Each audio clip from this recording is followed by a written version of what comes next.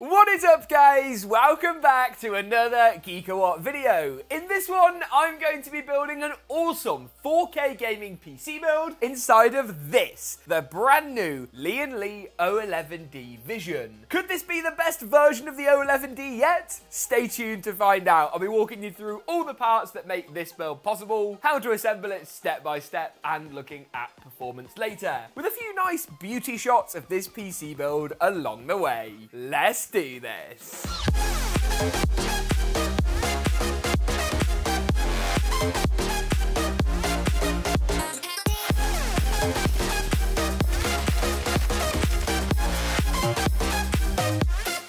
The Cooler Master QUBE 500 flat pack is a case that lets you do it yourself with support for full-size specs in a compact form factor. A highly adjustable design lets you build as you unbox, and it really is like nothing else. What's more, support for up to E-ATX motherboards, 360mm long GPUs, and a 280mm AIO up top make it super versatile for the latest components. Build it your way with the Cooler Master QUBE 500, now available in black, white, and macaron. Check it out at the first links in the description below. I'm going to split this video into two main sections. First, I'll be running through all the parts that make it possible and how to assemble the system. And then secondly, I'll be taking a look at performance, seeing what the frame rates are like and also whether this case has got airflow compromises as a result of its awesome aesthetic. Let's look at the case, shall we, in a bit more detail though. This is the O11D Vision, the latest iteration of arguably the original popular fish tank PC case. All the panels are fully removable. And what you'll notice if I take this top panel off is that on the corner corner of the panel, we actually have a clip system. What this enables is fully edge-to-edge -edge glass design between the front, side and top panels. The case has got a few cool features. The motherboard tray can be moved up or down to optimize for different layouts. In this case, we want plenty of room for a rad on the bottom of the system. Additional fan and radiator mounting support on the side. Naturally, airflow is going to be a little bit more compromised, but there's still plenty of options with room for an exhaust fan as well here, something that's really going to help when it comes to channeling all that airflow through. The only thing to note really is that this this case, while coming in at a modest 139 for the black and 149 USD for the white, doesn't come with any hmm. fans. Now, most people buying this case are going to pick their own up anyway, but it's something just to bear in mind if you are considering this chassis. I'm going to move all of this glass out the way before I drop it and smash it, and then have a really bad time, so that we can take a look at some of the other components that make this build possible. Now, I've paired up the MSI MAG Z790 Tomahawk Max Wi-Fi with the new i7 14700K. Now, before you come at me, when it comes to high-end multi-threaded workloads, Intel is still the better option than AMD. Chips like the 7800X3D are fantastic, and one of my favorite CPUs ever. But this i7 14700K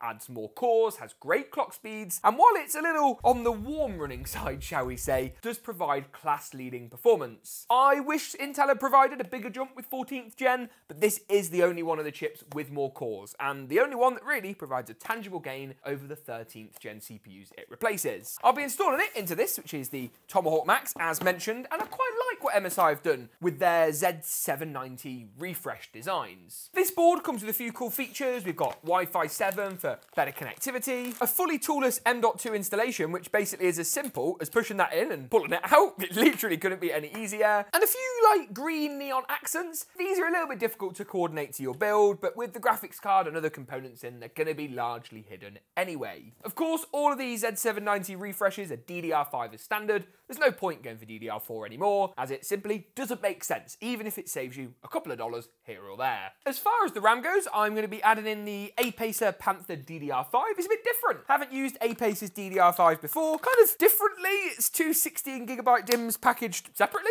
but you know, we'll give it a go. 6,000 megahertz. You are going to struggle to go too much further than that on this board anyway, as far as RAM XMP speeds go. And for gaming performance, this thing is going to be more than adequate, if I can actually get into the box. As far as matching with the build theme as well, this kit is going to do us really nicely as the Suprim graphics card Oh, God. Whoops.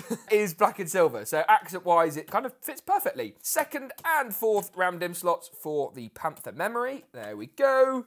Quite quite low profile as well, so certainly very easy to put in, even with large tower air coolers. And while I'm here, I'm also going to pop in the i7 just to the left of the memory in the CPU socket. While I'm here, I can also pop in the SSD, and I should tell you about it, the Samsung 990 Pro. I use this drive so often that I almost forget to mention why I've picked it. Super, super, super solid. Cheaper in some instances than the 980 Pro, so latest price and availability will be up the links in the description. It's just rapid, and these drives have come down so much in price. Two terabyte drive like this is simply a no-brainer. I always get told off for forgetting to take off the peel on the heat pad of the M.2 drive, but it's because it's so fiddly that I just can't get it. Oh, no. Oh, no, no, no, no, no. There we are. Yes. Yes. With this being fully toolless though, you'll see just how easy it is. Slide the drive in, push it down, pop the little plastic clip over the top, so just slides around, there we go, nice and easy. And then the toolless M.2 heat spreader just goes on the top, there we are. Push it down, clicks in. How easy was that? That is in. No qualms, no problems. Really like the Tomahawk range from MSI. You're not going to get loads of overclocking headroom, but you get enough, and it simply has all the features that we could possibly want. Just take a look at that. What is not to love? Maybe the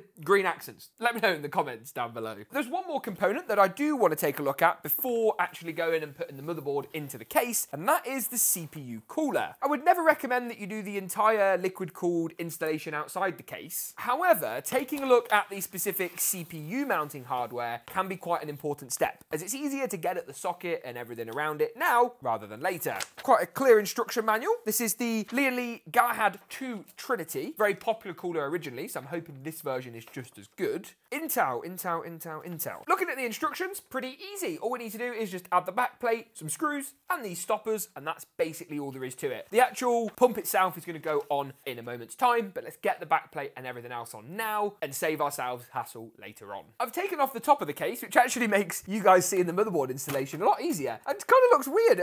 I'm happy about it though. It's, it's nice. It's a cool case to build in. Just get the motherboard standoffs nicely lined up. There we are. Bit of push required to encourage it into place. Then it's a case of fastening all the standoffs. So three across the top, three along the middle, and three down the bottom as always. Only support for an ATX board in this case. You are going to struggle with an eATX design. There would be a lot of overhang there, even though it would technically screw in without too many problems. The next step is the radiator. Now, what I like about this new Galahad 2 Trinity is, first, that the fans come pre-installed. That's a nice touch. But perhaps more interestingly, that you actually have sort of rotatable fittings between the radiator and the pump and water block. Now, I suppose the idea behind this is it reduces sort of cable fraying here or allows you to more easily move the cables in the direction that suits your build. But also, of course, it aesthetically looks a lot nicer and makes cable management a bit easier. Or should I say tube management a little bit easier. I'm gonna pop this on the side of the case in exhaust and then use the bottom of the case for intake. Now to do that, I need to stand the case upright and screw the radiator in from the back. I think that's gonna be the best sort of aesthetic way of doing things. Trying to figure out your fan orientation in a case with this kind of layout is a little bit more tricky. But secure the radiator in and then it's simple case of popping the water block on top. No pre-applied thermal paste, so you need to do that yourself with the included tube. A large grain of rice, roughly, as a size guide is what I go for in pretty much all of my builds. Once the cooler is in, the GPU is next. Now I've picked up the RTX 4080 for this build. In all honesty, you could also consider swapping it out for the 7900 XT. That would save you a little bit of cash and give you similar levels of performance. But if you're particularly interested interested in DLSS 3 or better ray tracing performance,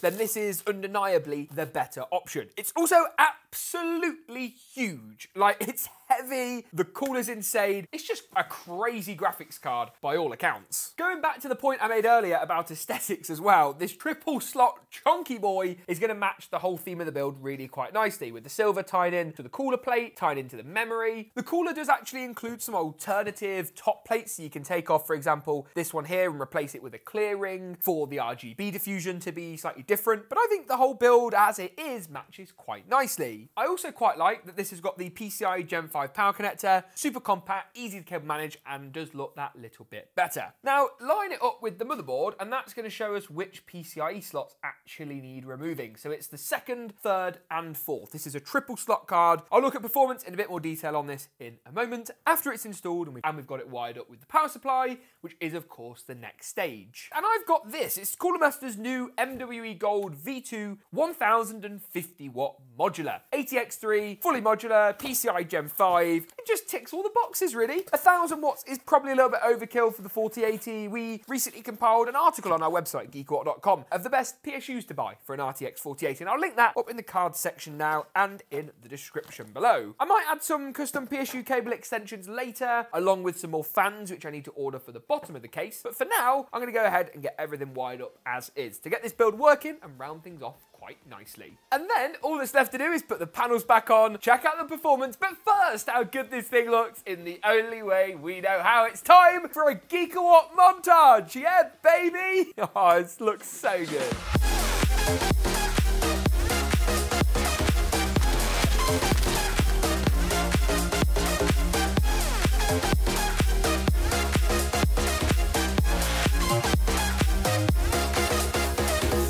The next thing to do is look at performance. Does the slightly restricted airflow of the O11 Vision hit frame rate? Is the 4080 still the card to select? Let's take a look and find out. The first game I tested out was Starfield at 4K high settings. Here the build pulled in 75 FPS on average. Now this is obviously of course more than that golden 60 FPS metric, but by no means a triple digit frame rate either. 75 though is still pretty good for Starfield, which is a fairly poorly optimized and difficult to run game, even on a card like the 4080. Move through to Hogwarts Legacy, also tested at 4K, and things improved slightly, but not drastically. 80 FPS on average, with consistent 90 and 99 percentile results. But if one thing is for sure, the game looked visually stunning. Moving through into Warzone 2 at 4K high settings with DLSS on quality, and this build pulled in 126 FPS on average. That 4K frame rate then really starting to increase and showing what this build is capable of. We also tested out Fortnite at 1080p competitive settings for a bit of fun, everything tuned down to low except the render distance, which was set to far, and then the build pulled in 307 FPS on average. 90 and 99 percentile results were solid too, as you'd expect from a 4080 and i7 high-end combo. Apex Legends at 4K high next up, tuning things back up to that top end resolution, and the build achieved 198 FPS on average. This is a build that really does have lots of horsepower when it comes to playing the latest and greatest AAA titles at 1080p, 1440p, and of course 4K. What do you guys think of this build? Let me know in the comments section down below. If you enjoyed this one, get subscribed. Thanks for watching, and as always, we'll see you in the next one.